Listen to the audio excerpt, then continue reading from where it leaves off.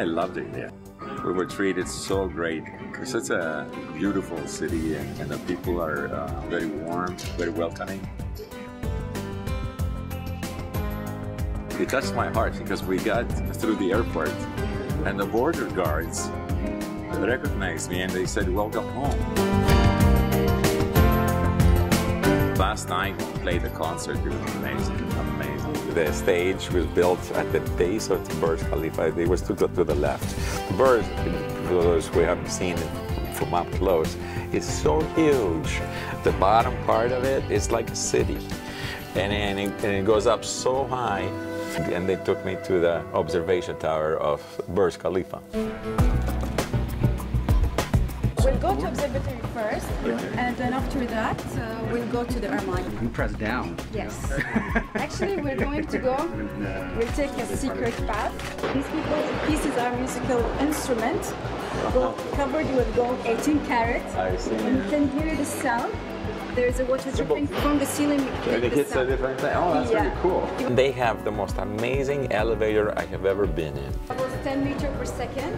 Good And it acceleration. Yes, and it will take us only 60 seconds to reach at the top. Wow. And it doesn't stop on any floors or anything, it goes straight. Perfect. 60 seconds, and you feel nothing. You feel no acceleration and no deceleration. So get ready. Get ready for takeoff. The lights go out, music little plays. To do it in 60 seconds, you must be accelerating all the time. This is the best elevator I've ever been in in my life. For the record. Actually, it's And then op- the doors open, and here you are, you're at the top of the building. welcome at the top. Wow. Wow. I've never had that experience before. You get up on the observation tower of the Burj Khalifa and you look down and you're seeing skyscrapers and they look like this big.